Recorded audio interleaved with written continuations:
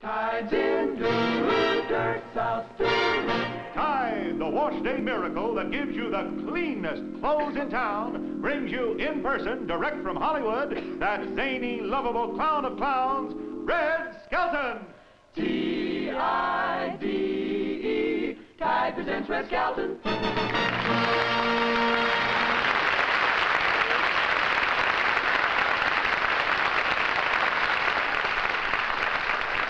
Thank you very much, ladies and gentlemen. I hope you'll enjoy our little visit tonight.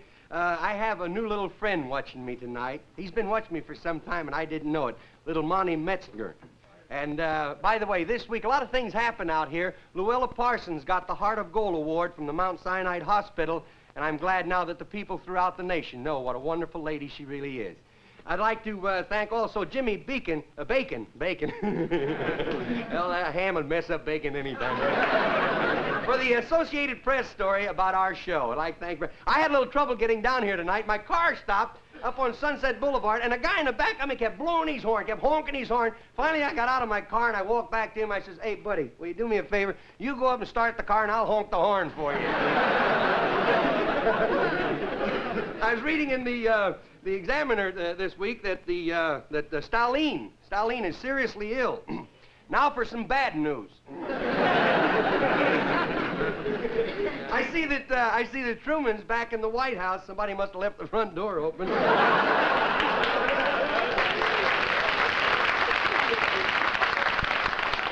You know, it cost seven million seven hundred thousand dollars to repair the White House. you can see where your Social Security is really doing some good after all. That's a lot of money to spend for a house in Washington for a guy that lives in Key West, isn't it?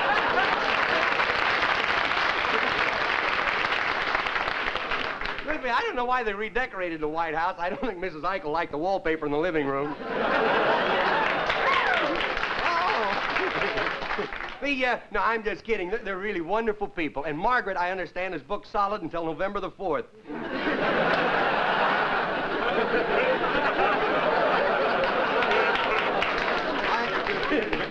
I feel good tonight. I got that spring fever, though. I've, all day long, I've been feeling like taking off my skin and dancing around my crazy red skeleton. you can always tell when spring comes to Hollywood. The orange trees are in bloom and Errol Flynn's in court.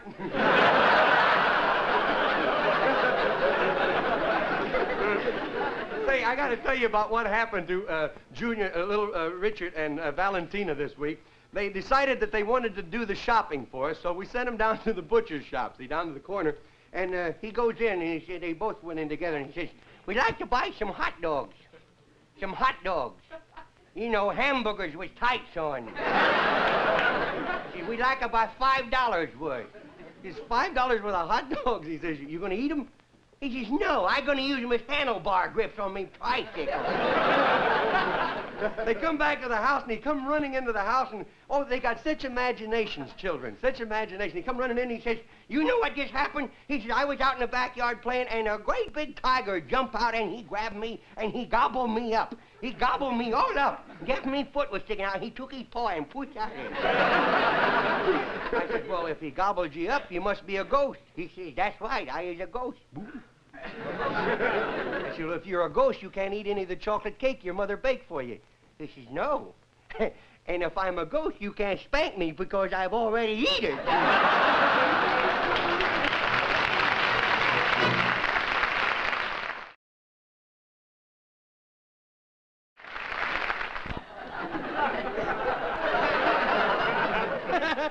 Say, uh, did you ever ever figure out one thing? If you buy a girl a present, it either doesn't fit or it's fattening. Now, a few days ago, a few days ago, I, I brought home a box of candy for my wife, uh, Georgia, and, um, well, I'd like to try and show you in pantomime exactly what happened. Now, at the last minute, the things didn't show up, so you'll have to imagine all the different things. Now, here is a table. Here, see? This is a table right here, and it's got a box of candy on it. And the, uh, over here's a scale, see? You have to remember the scale now, you see? Over here. Now, I need the, uh, the chair. well, there's one way to do this, too, you know.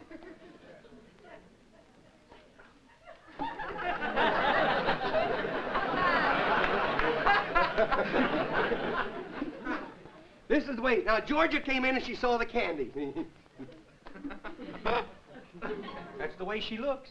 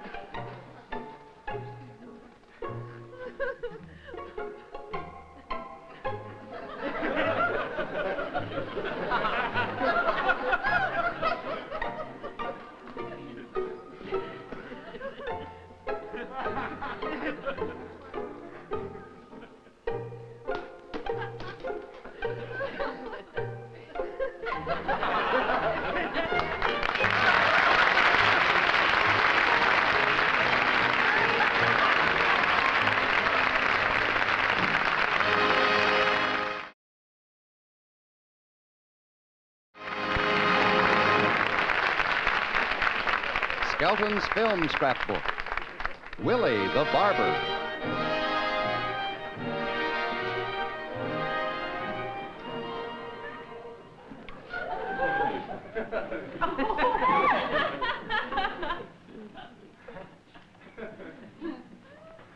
Boy, this guy looks like a 30 cent cedar mop.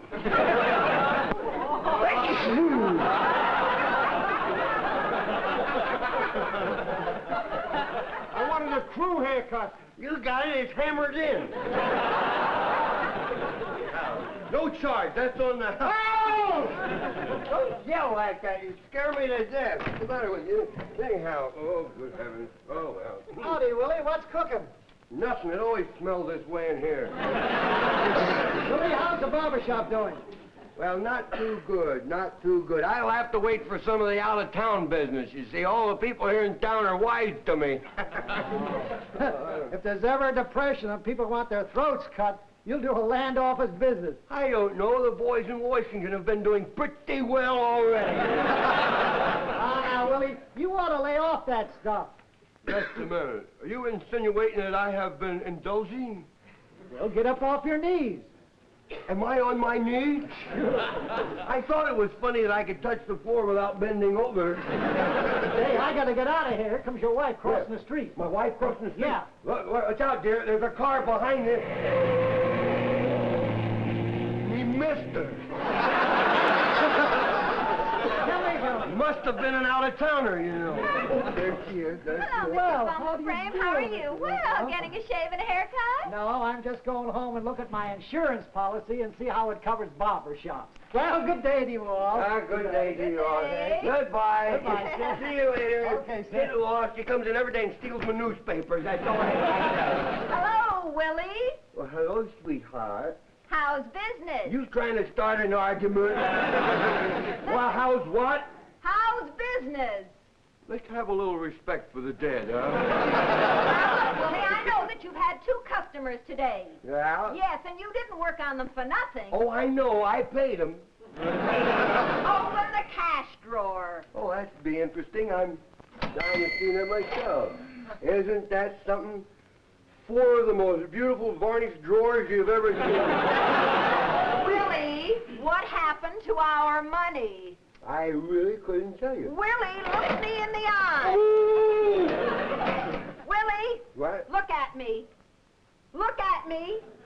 Both eyes. I know what you look like. Oh, honestly. Tell me, Willie. Hmm. What do I look like? You look like a very beautiful, charming girl. Yes. Very beautiful. Oh, really? Yes. Willie, you've never said those nice things to me before. Well, I've never seen you in this light with the sun hits your hair like that and you with that razor in your hand. Honestly, for two cents, I'd go home to Mother. oh, I'm sorry. Gee, I don't have two cents. You're the most ungracious, you're the most horrible man I've ever known. Oh, shut up! You're a windy old bird, ain't you? oh, customer, customer. Oh, uh, there's somebody ahead of me. I'm after this lady. Oh, no, no, well, if I'm you not- are, I don't admire your taste. I'll- you're next, sir. You're next, right here. There you are, sir. I'll have a shave. Once over politely. Yeah.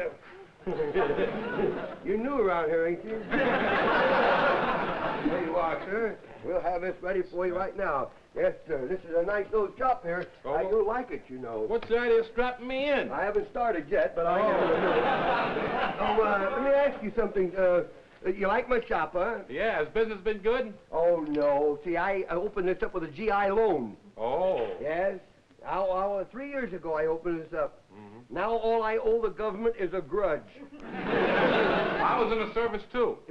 You were? Yeah. Good, Yeah. good. Enlisted man? No, officer.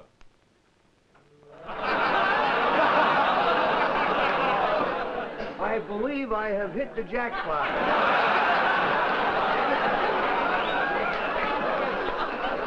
What's the idea of strapping me in? Well, when I put that chair up high, I don't want you getting dizzy and falling out. yes, sir. Uh, an officer, huh? That's right. A uh, lieutenant? No, Colonel. Oh, no! I believe I have died and gone to heaven. Tell me, what branch of the service were you in? Uh, infantry. Oh, no! I have hit the jackpot. oh, good. I was an infantry myself. Oh, good. I walk so much my socks look like spats. uh, uh, would you uh, care for anything here? A cigarette? Yes, I'd like to have a oh, cigarette if you don't mind. Sorry, Oh, well, Willie, I don't. Uh, uh, Here's a nice tray. yes. An ashtray? Yes, uh-huh. This Why- came from Willie's second customer. I say, it looks like an ear. It isn't. Second customer. Uh-huh. What happened to the first? We never speak of him anymore. he don't spout off much either, you know.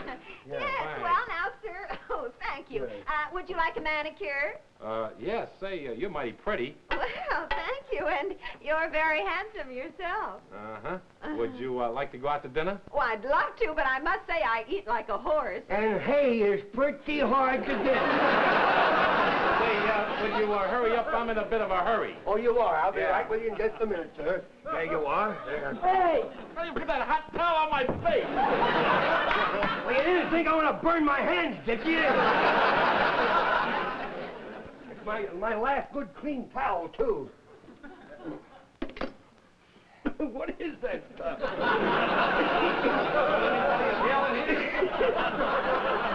Would everybody inhale real quick? How do you get this stuff out of here? Here. Run it around the block, will you?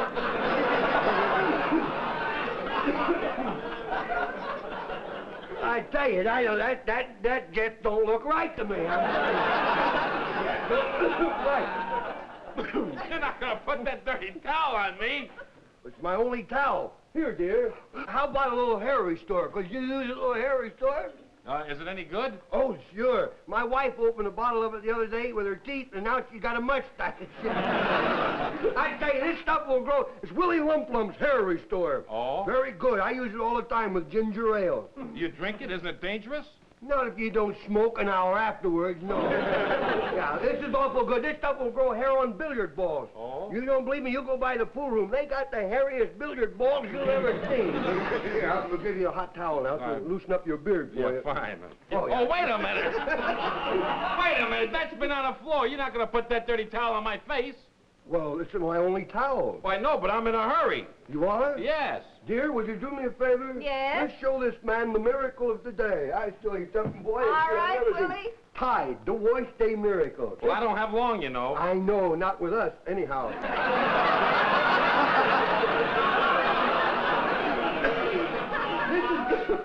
this is is Day miracle. It gets, I'm kidding. I don't care if anybody gets a laugh. It's all right.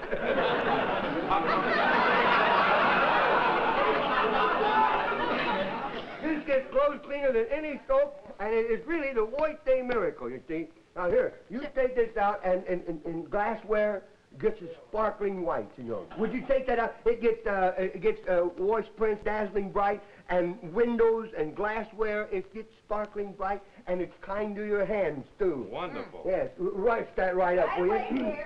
So you were a lieutenant, huh? No, a colonel. no, a colonel. A colonel. Well, well, here it comes now. Here it comes. Back already, huh? Yes, There you are. Tide, See? isn't that beautiful? Sparkling bright. Look at that. was That nice. the white Day Miracle tie. A colonel, huh? That's all. Skelton's Scrapbook. Quiz the candidate. Good evening, ladies and gentlemen.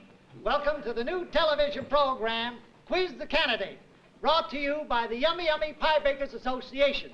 Our guest quizzes for tonight is none other than Miss, Mrs., uh, oh yes, Mrs. J. Arthur Saddlesore, noted scientist and creator of the only tiddlywink that contains vitamin B12. Then- Hard name to get. He's only been rehearsing it two weeks now. It's pretty And hard. also here we have Mrs. Gertrude Stump, noted author of that new bestseller, I Married a Tax Collector, or Sing Sing Revisited. also we have as our guest presidential candidate for this evening, none other than honest San Fernando Red. My friends. Thank you. Thank you very much. Uh, where's Zsa Zsa Gabor? I thought she was going to be on here. you ain't sitting on Zsa Zsa, are you there? My friends, and you're all my friends because I know you are. I paid enough for your votes, I'll tell you that. if I am electrocuted, uh, elect, elected, I want to say a few things right here now before I make my speech. That for the past few years, this present administration only been giving you pig's feet. You get me in office, and I'll give you something higher up on the hog. I've just returned from our nation's capital, Key West. And I stopped off in Washington, D.C. for the Ja- Jackson Day dinner. Ja- Jackson Day dinner. That was really some. How are you? Glad to see you. They paid a $100 a plate, but I want you to know it was well worth the money. Each Democrat had three waiters, two busboys, and one Republican to burp 'em. this seems like to be the year for military men to get into office. And I want you to know that I've been in the service. I've served before. yes, sir. I expect to be called any time. I'm on the uh, San Quentin. Your Honor, please, please, you know you're not allowed to make a See, you were speech. supposed to interrupt me there, but I'll forgive you that. You're not allowed to make a political speech. You see, you're only supposed to answer the question. Oh, ask questions. That's the what exact- kind of a congressional committee is this, anyhow? Mr. Ryan. Yes. May I tell the televiewing audience something? Yes, go right ahead. Don't adjust your television sets. They are not out of focus. He's just two-faced. You have a uh, license to make this mass meeting speech, lady? Boy, I never saw such a crowd of people in one person in all my life. Boy, she was born when meat was cheap, I'll tell you that. Your Honor. Oh, is that the way you want to play? Yeah.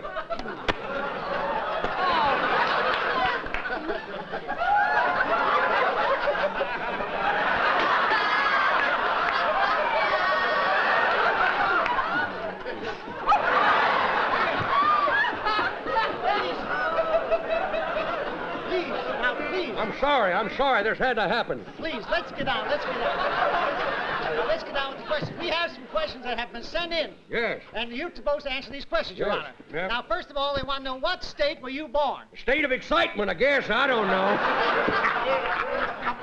That's a hot one, wasn't it, huh? Here's another one. What do you think of the Navajo issue? Oh, that's a blanket uh, thing, if you ask me. The Navajo. I happen to be one of the fellow brothers. I'm an Indian. Are you a full-blooded Indian? No, I used to be. I sold my blood for transfusions. Now I'm only a half breed.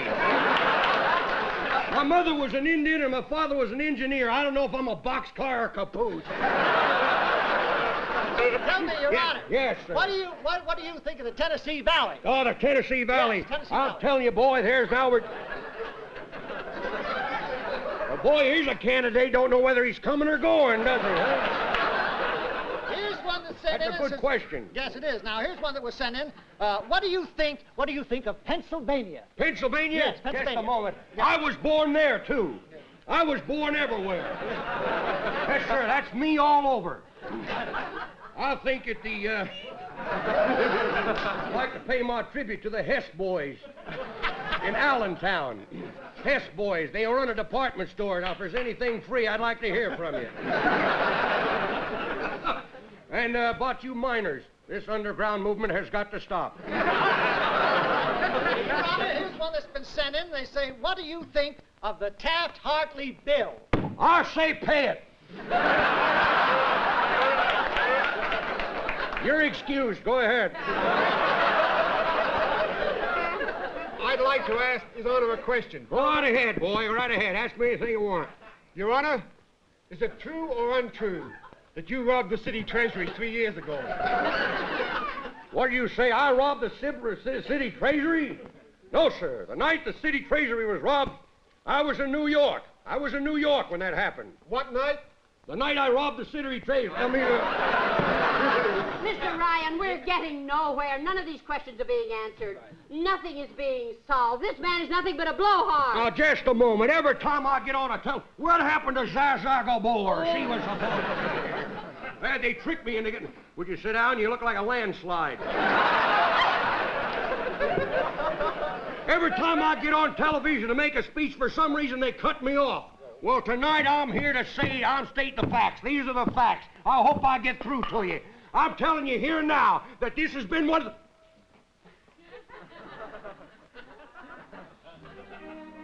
Ladies and gentlemen, due to tempers beyond our control, we are discontinuing the sound portion of this telecast. However, we will continue bringing you the picture and accompany it with appropriate mood music.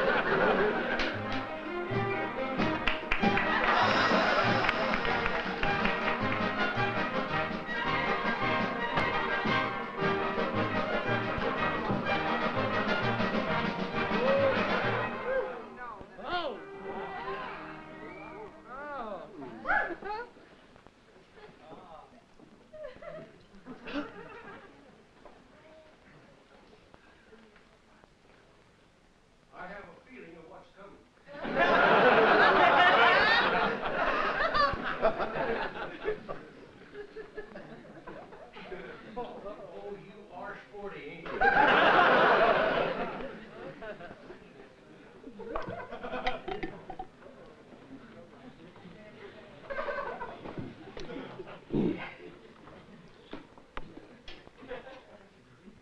I'll get lost. now, we got, a, we got a little disappointment for you, folks. We are not going to throw them after all. I don't believe in throwing pies. I'm a mudslinger myself.